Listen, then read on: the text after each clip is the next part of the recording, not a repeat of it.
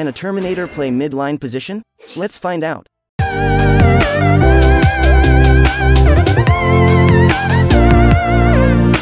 But before that, shout out to these people. Letting you know that I am doing random shoutouts to random subscribers. If you're new here, don't forget to hit subscribe for future Axie Infinity content. Most of the Terminator build are placed at the back for a single reason. We all know that Terminator reptiles are built for the end part of each match. But can this reptile play a different position?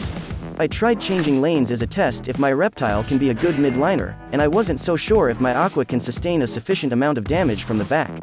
My reptile comes with the Mystic Rush, Sticky Goo, Allergic Reaction, and the Chomp card.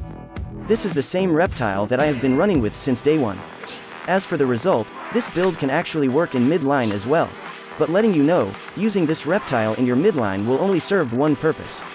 That purpose is to support and provide space for whatever backline that you have. This reptile can still debuff the enemy, apply stun, and kill enemy combos, making them hesitant on how and when to use their cards and energy it would still feel like your Terminator is in a 1v1 or in a 1v2 situation. The difference is, you still have a backline.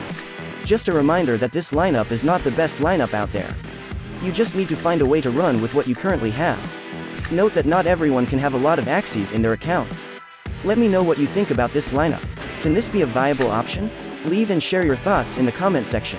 If you find value in this video, don't forget to like and subscribe for future Axie Infinity content. Enjoy the rest of the video.